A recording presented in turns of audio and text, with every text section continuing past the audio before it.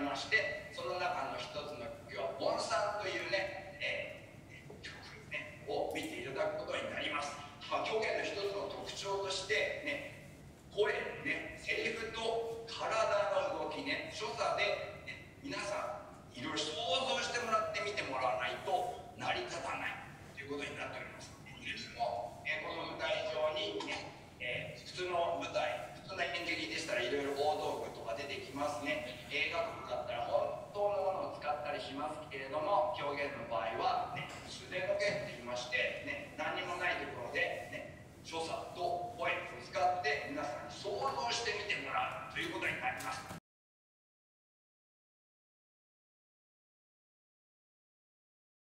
123分の短い狂言ですのでちょっと集中してね、えー、画面ねカメラ越してちょっとねあのー、えー、まあ緊張感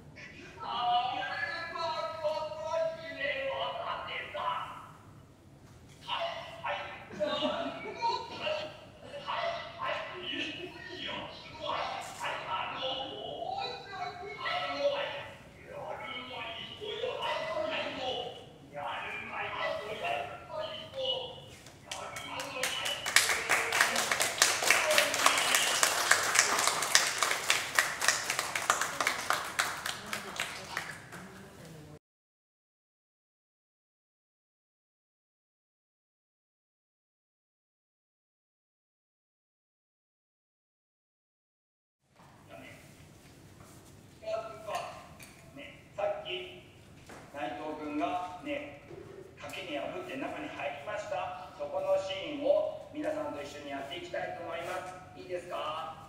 できますか？はい。オーはい。右手をのこぎりに見立てますね。扇がないので右手をのこぎりに見立てます。いいか？自分の前にね垣根がねここ2本上下2本あると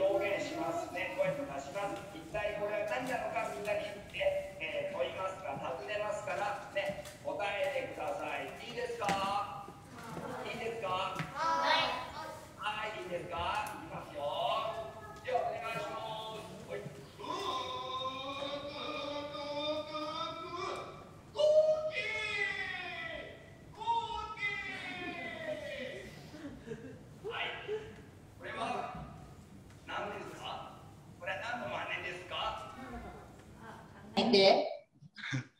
さあ、お家で参加してる皆さんも出してくださいね。よかったよし、じゃあ、先生いいですか？っててももはい、どうぞ、お願いします。じゃあ、手挙げてる女の子お願いします。ニワトリ。はい。ニワトリという答え答えをいただきました。はい。当たりです。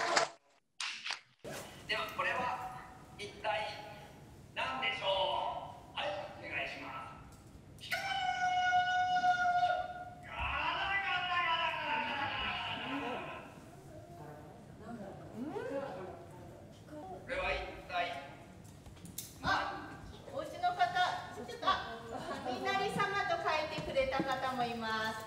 こっちの真ん中の方、なんだろう、お、雷様と書いてくれてます。のり、雷って書いてくれてます。こちらの方、なんだろう。ろろ、雷って書いてくれてます。じゃあ、みんな、お家で見てる方は雷って書いてますけども。会場のみんなはどうかな？会場のみんなどうですか？雷じゃないと思った人。じゃあ、みんな雷だと思った人。